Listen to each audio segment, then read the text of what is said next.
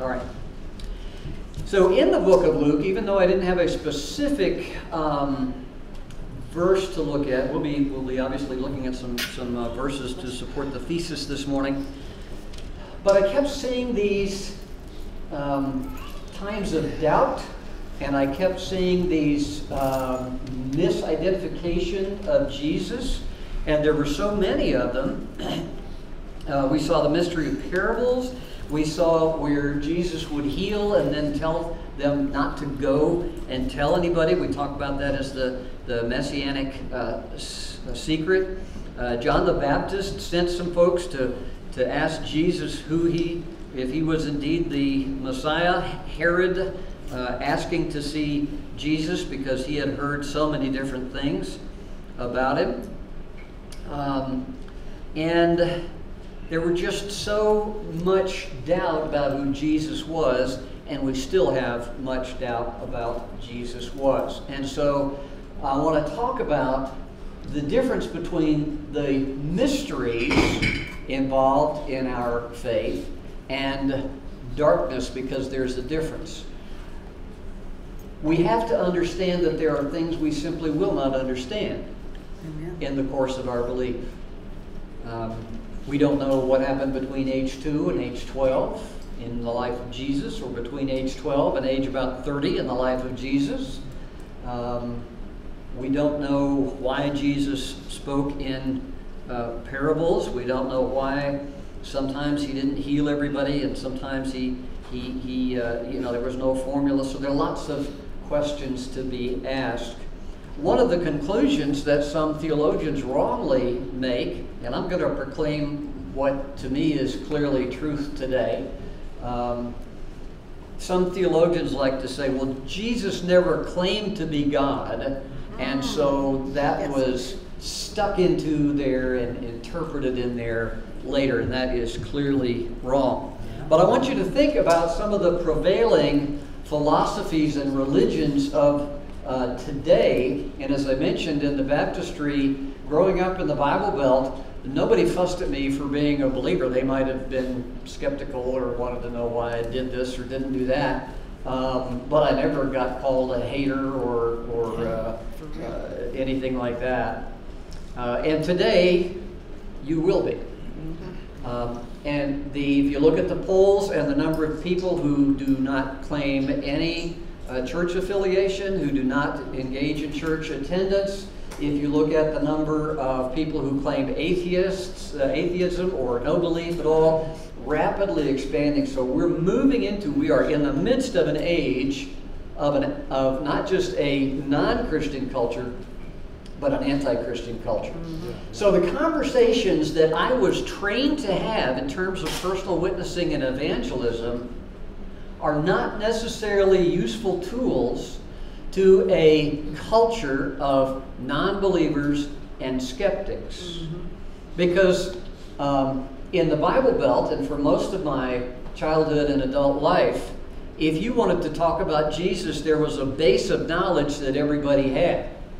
Now, they might have been wrong or they might have been a little different, uh, but, but everybody kind of knew uh, and, and as I've said before, if somebody said, well, what do you believe? I said, well, I go to such and such a church. And that would answer their question because they knew uh, what the Baptist church basically was. I mean, they might have thought that we rolled in the aisles and handled snakes, but um, there, was a, there was a foundational belief in the uh, value of Scripture, even if not the authority of Scripture, but the value of Scripture and the uh, value of, of Christian ethics and morality. Um, I remember a, a, uh, friend of ours, a pastor friend, um, that uh, uh, there was another church member. This was back when we lived here 20 something years ago. And she was involved in kind of a controversial issue in her neighborhood. It was Navajo over the water uh, system, something like that. And so this, uh, this pastor friend uh, wrote a letter to the editor defending her, and in that said she's a fine Christian woman. Now, he also was from the Bible Belt, been in the ministry for, for years. Um, but I was talking to somebody who lived out there, And he said, What does that mean, fine Christian woman? That doesn't mean anything. And it really doesn't anymore.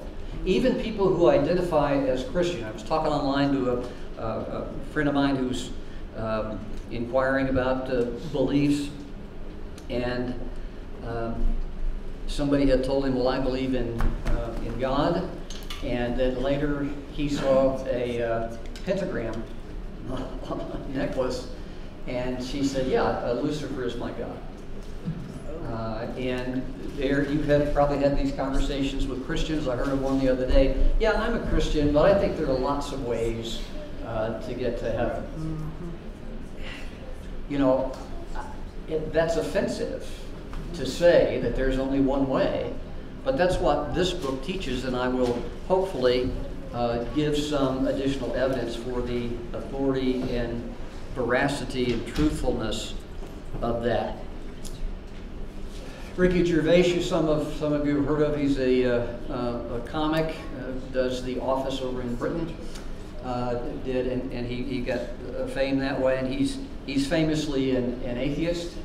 And he says, "You're an atheist for all the thousands of gods that exist in the world, except for one. I just believe in one less God than you do." there's one God. Well, let's talk about how logically that makes sense. First of all, let's just look at how God has revealed himself um, to us. And so we can kind of maybe use this as a conversation uh, supplement or a conversation starter with people who are non-believers. You get, let me just repeat this. You cannot assume that a person understands or correctly understands where you're coming from.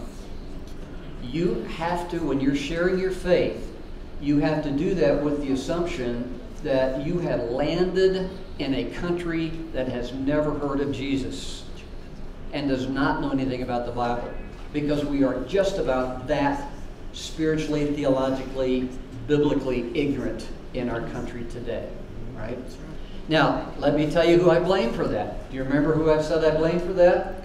America's churches, because we have become more interested in programs and entertainment and gathering audiences and being so seeker friendly that we don't want to speak any truth that might offend somebody. And we have a whole lost generation or two who know very little about Scripture. If you look at the number of active uh, members of youth groups and survey them five and ten years later, you'll find that most of them have given up on any active practice of their faith. Now, I've been through a lot of youth programs. I've worked with a lot of youth directors. I've been in charge of some various programs. I'm, I'm not a youth a good youth director because I'm just I'm no fun. But we have had, again, a generation or two of youth programs that are designed around a brief devotional, pizza, and party. Folks, that's fun for the moment. When you're 22 years old in the midst of a godless college environment, it doesn't do anything for you. Nothing. You might as well have been in the 4 H or any other good organization. So that's why I urge and urge and urge that you read your Bible on a regular basis.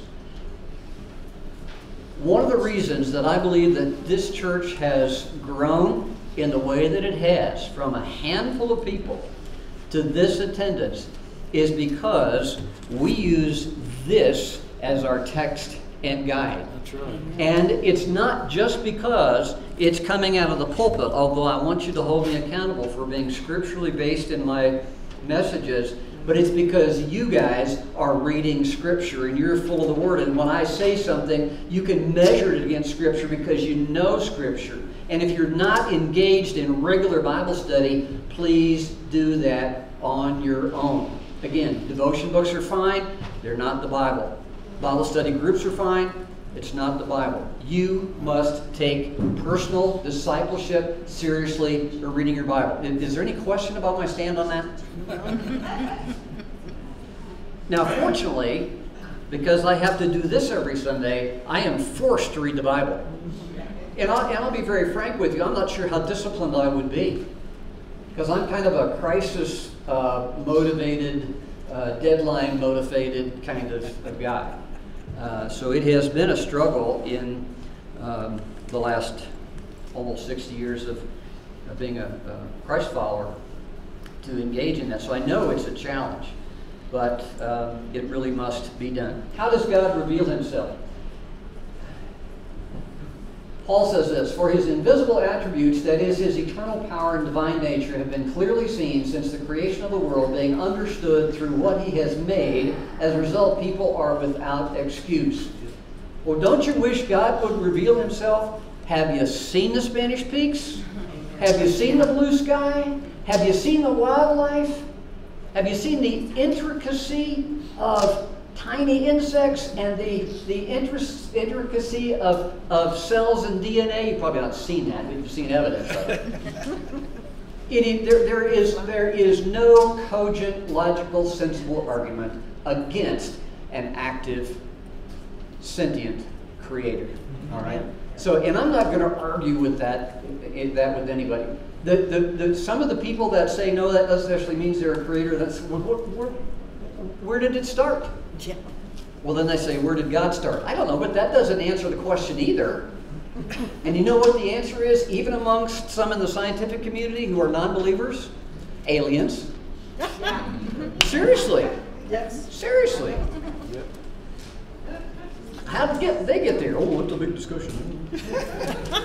it, it just, what that is, is a person who does, who looks in the very face of God's evidence and says, I don't want to have anything to do with you. And you know what? If you seek him, you'll find him. Right. If you deny him, he'll deny you. Amen. So, well, that, that's, that's one God. What if there's other gods out there? Again, logically, it only makes sense that there are other gods if they are inventions of human beings. The invention of other gods and other idols is an evidence that there is a God shaped hole in us that we desire so sincerely to fill that if we don't know the truth, we'll make up a truth. Amen. And we make idols. Yeah, yeah. And a religion can be an idol, whether it's under the umbrella of Christianity or something we just make up. You know, AA was predicated as a Christian program. And uh, now in those steps, you'll see uh, that there is a spiritual component and a higher power. Uh, that used to be explicitly Christian, and now to have a broader appeal. If you want the doorknob to be your higher power, then you can do that. Um, and, and, you know, I'm, a fan of AA and NA. They, they've had tremendous success over the years. But again, don't, don't forget their uh, origins as a Christian program? Well, so it really makes sense. It makes logical sense. One could argue, and I don't think that you should engage in theological arguments that get you nowhere. Um, but I think you, you, could, you could posit that there is one creator God because multiple gods doesn't make as much sense as one God, particularly when you think about the way that God has revealed himself and desires for us to have fellowship, and the language of Scripture, which will emphasize why we trust Scripture, is very much one God. And um, if we do, in fact, have this Creator God who has spoken to us, you know what? I think if there were other gods, He would get rid of them. There's no need for any competing gods out there. Doesn't make sense. And again, this is under a doctrine called general revelation. If you want to look this up, that, that's it's a it's a thing. The heavens, this is in Psalms, the heavens declare the heavens declare the glory of God, and the expanse proclaims the work of his hands. Day after day, they pour out speech. Night after night, they communicate knowledge. Uh, the the world actively engages our mind and our spirits. Now, when you see people that worship nature or talk about the universe or um, believe in, in pantheism, that, that, that there's God in everything. And certainly God is in everything, but not everything is God. Um, then we've gotten that communication garbled because it speaks of a creator. Now, we talk about general revelation, but we also talk about spe- special revelation, and that's in two categories. Scripture is one, and Jesus is another. So let's look at this. All Scripture is inspired by God and is profitable for teaching, for rebuking, for correcting, for training in righteousness. The Bible is, when we say, how do we know the Bible is true? One way, out of many ways, one way to say the Bible is true is that the Bible internally validates itself and speaks of its own truth. Now, if that were the only thing, we could argue that that's a tautology, a circular reasoning, doesn't, you know, I'm true because I say I'm true. Well, how do I know you're true? Well, I'm true. Yeah. But when we look at, and I won't go through the whole uh, list of things, when we look at the number of ancient manuscripts, when we look at the measuring modern translations compared to the ancient manuscripts, when we look at the contemporary writing where people were still alive when the Gospels were written, that knew Jesus and had witnessed these things, all of this is a tremendous amount of evidence about the truthfulness and the veracity of our Scripture. And those who are engaged, believers or not, in studying ancient documents and archaeology will tell you, if they're honest, they will tell you there is more evidence for the accuracy of this book than any other ancient record by far. So we trust in Scripture. It was given to us as one of the ways that God reveals to us. This and these 66 books, um, written over a period of 6,000 years by many, many different writers, but they all, as we have emphasized, I think, in this church from this pulpit, it's all one story over the centuries and over the span of personalities and, and epics. It's, it is miraculous. This book is miraculous. Now you say, well, how would, why is your Holy Scripture better than this Holy Scripture, that Holy Scripture? You can tell them there are reasons why. Has anybody read the, um, oh, I can't even remember the name of the book now. Um, is Atheism Dead? Um, it, it, it's a good one. I've got a copy in my truck I'm working on. But it gives you, it's good evidence of, of uh, the truth of Scripture. Talks about a lot of archaeological discoveries, many of which have happened just in the last 100 or 200 years, um, that have validated Scripture. There are also those who say Jesus, as I said before, Jesus never said that he was God. Now, we don't see the words, I am God, but it is very clear that not only Jesus thought he was, uh, knew that he was God, his disciples knew that he was God, accepted that he was God, and that the skeptics, the Pharisees and Sadducees, hated him for saying that he was God. Mm-hmm. So if somebody says, and this was some uh, a theologian, uh, a German theologian that came up with this, oh, no, we, we've changed the scriptures and we had to realign our beliefs because Jesus never said he was God. No, I and the Father are one. Now, I know somebody who would say, oh, that means, you know, like you and I are one, or we're one in the Spirit. No, uh, he was talking about an absolute, total identity with the Father. His Jewish opponents, this is all scripture, his Jewish opponents picked up stones to stone him. We are not stoning you for any good work. Because Jesus said, Why are you stoning me? Because I heal people? They said, No. They replied, But for blasphemy, because you, a mere man, claim to be God. So his audience recognized this statement as a claim of Christ to be God. And you remember also in Scripture, Jesus is saying, Before Abraham, I am. That is a significant statement, culturally, historically, and linguistically, meaning, I am God. And we can go to uh, John and, and, many other passages um, that talk about Jesus being God. Now, this is, uh, this is a good example of a bad PowerPoint, but I'll just read this out of Colossians. He is the image of the invisible God, the firstborn over all creation. And think about this, not, not, not just uh, Paul describing who Jesus is, but in the con, uh, context of understanding the special revelation that God has given us. He has given us Christ incarnate, Himself incarnate, so that we can know Jesus, so that we can know God.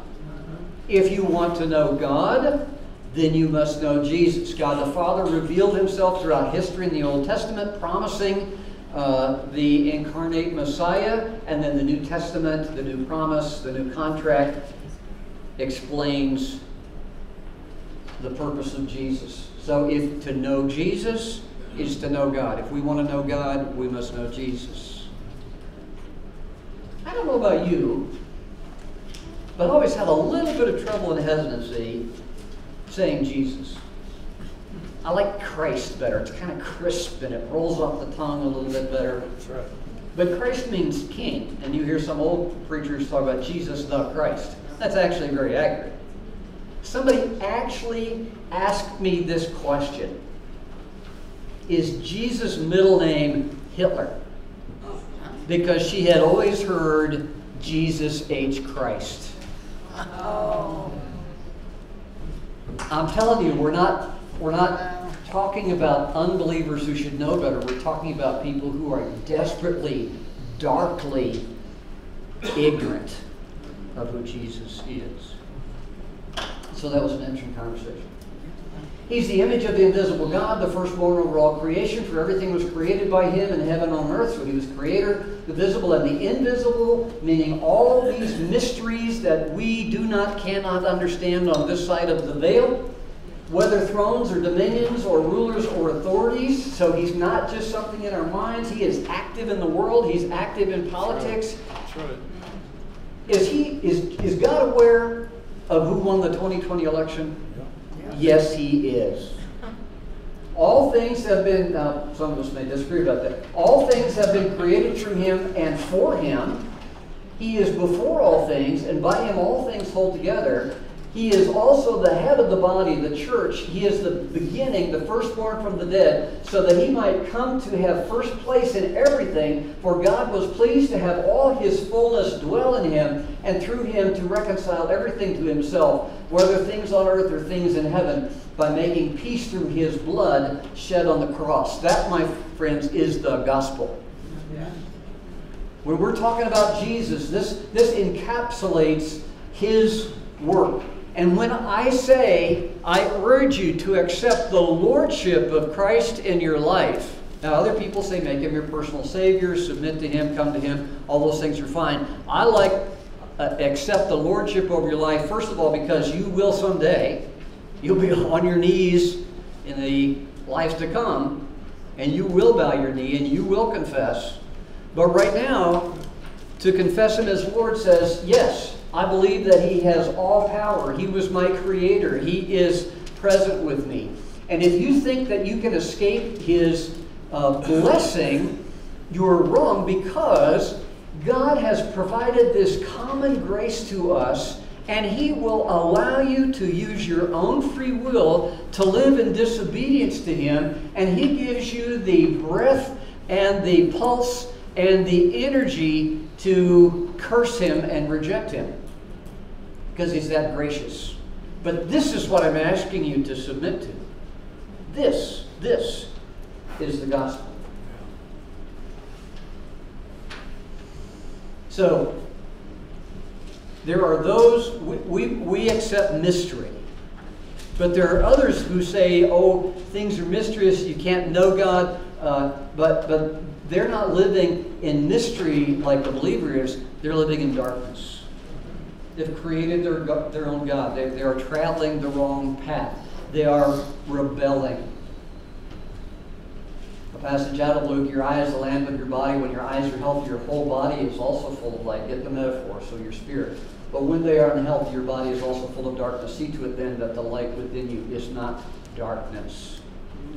Get rid of your Ouija boards. Get rid of your lackadaisical uh, uh, attitude towards uh, being involved in, in fellow believers' lives and in reading the scripture. All of that's darkness. All of that's darkness. Be filled with light. This is the message we've heard from him and declare to you God is light, in him there is no darkness at all. If we claim to have fellowship with him and yet walk in the darkness, we lie and do not live out the truth. But if we walk in the light as he is in the light, we have fellowship with one another, and the blood of Jesus, his son, purifies us from all sin. Now, John goes ahead and says, if we say that we don't sin, we're, we're also liars.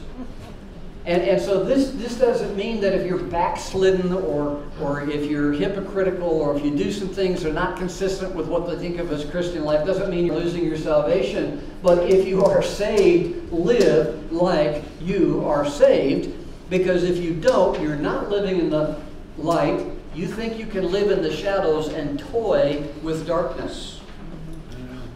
And I would say that in a room of this many people, there are some of us toying with darkness while we're trying to live in the light. And this is a caution to us. When Jesus spoke again to the people, he said, I'm the light of the world. Whoever follows me will never walk in darkness, but will have the light of life. If you are in darkness today, you can flip on that light switch accept the lordship of Christ, who created you, loves you, and wants to live with you eternally, eternally, or you can continue to walk in darkness to deny Him, to seek out those things that are momentarily pleasant or that avoid the pains of living as a Christian in an unchristian world. That is absolutely your choice. But if you seek Him and ask Him, you'll find Him. And I would just beg you with every ounce of my energy and soul and desire and mind to accept who Jesus is. And you will live in the light of his truth. There is no better way to live.